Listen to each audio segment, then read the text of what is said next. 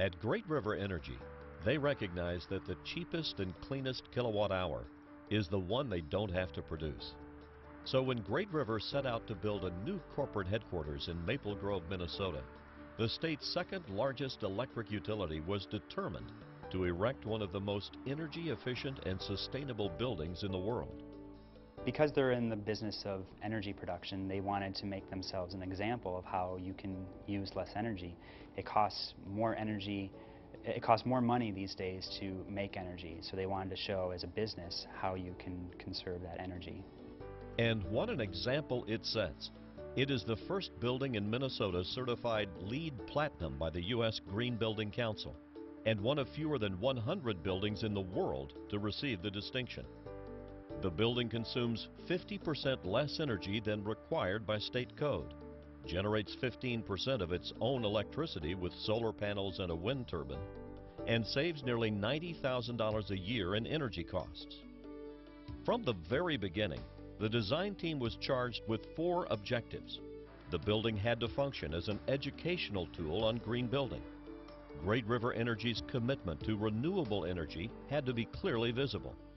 It must include at least one truly innovative design feature, and it had to be a state-of-the-art building in energy efficiency. Achieving those objectives required an overall approach of incorporating passive efficiencies into the building's design, beginning with the underfloor service distribution system developed by Tate, the leading authority on raised access flooring. That was one of the goals, to make the design be efficient, but also the technologies to be efficient. Using a raised access floor definitely promotes uh, efficiency, it promotes flexibility, and it promotes uh, a healthy work environment, which are all three things that uh, owners and clients are asking for. The underfloor system is key to creating one of the building's most noticeable and pleasing features, the abundant use of natural lighting. We are able to uh, increase our ceiling heights here in the building, which allows more daylight to get into the space. Uh, what you're doing is you're, you're using natural daylight to illuminate a space.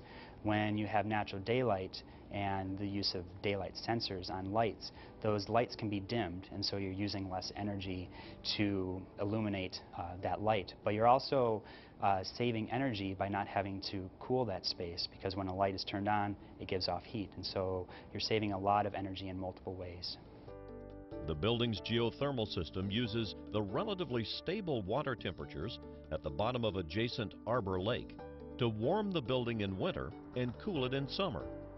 And the underfloor system not only distributes electrical, data cabling, and other services, it also acts as a plenum, gently delivering conditioned air through adjustable floor diffusers to every occupant in the building.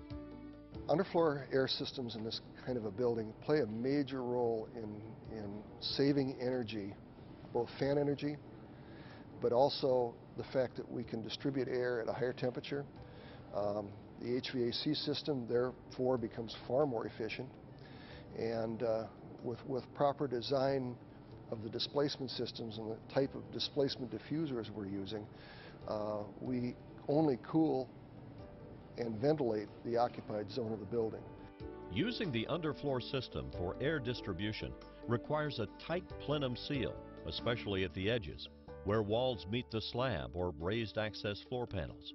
Conduits and other service distribution poke-throughs are also critical, anywhere air can penetrate the plenum wall. So we talked to the Tate suppliers and found that they had some really innovative details of how to seal off the wall penetrations.